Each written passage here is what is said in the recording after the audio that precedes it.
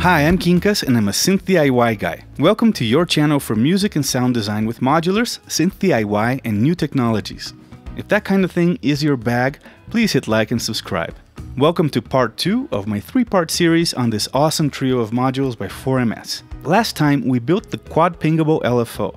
Today we're building the Quad Clock Distributor Expander, or QCD Expander.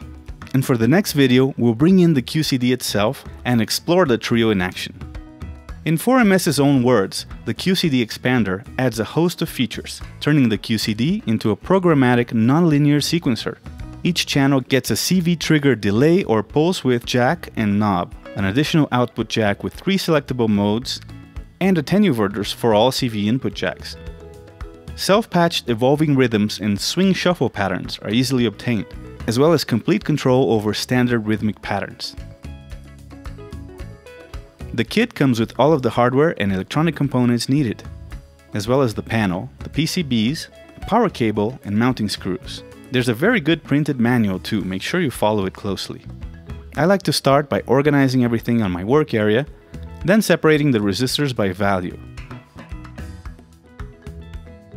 I then populate all of the low profile components such as resistors, diodes, and ferrite beads, and solder them on from the top side.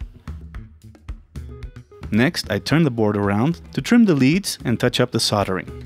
Next up were the IC sockets and the timing crystal.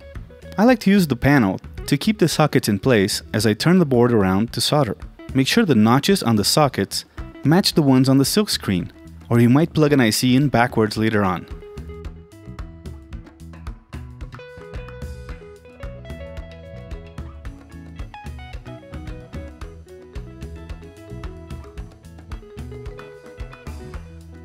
Now the voltage regulator. Use some pliers to bend the regulator legs into right angles before plugging them into the board.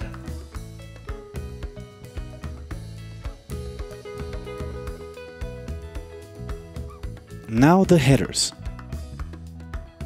Have a good look at the manual here to make sure you're installing the headers on the correct side of the boards.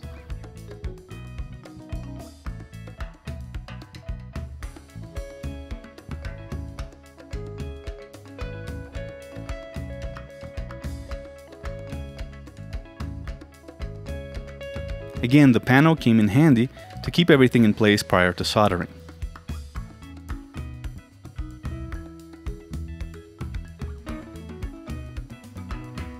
It's a good idea to solder just one pin for each header first. Check to make sure everything is perfectly straight. Then solder the rest of the pins.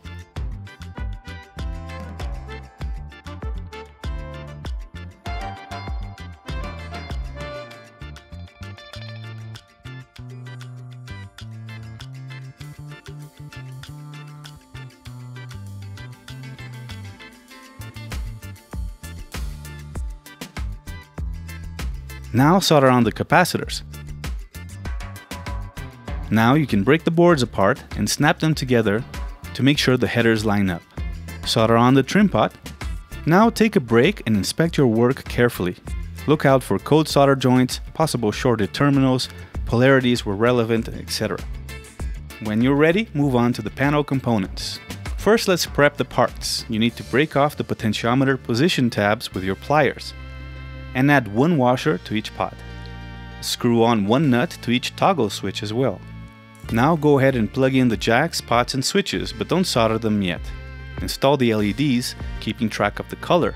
Three of these look identical. You need to refer to the card they come taped to in order to know their colors. Also, make sure the polarity is correct. Long leg is positive. Now, remove the protective plastic from the panel and mount it over the components.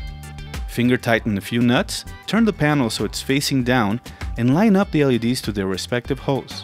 Also, make sure there are no gaps between the panel and the jacks, and that the panel is parallel to the PCB. Now you can solder one lead per component, check the alignment, making sure the centered detent on the pots is actually centered. Then finish soldering. Now snap the ICs into their sockets, carefully checking their correct orientation.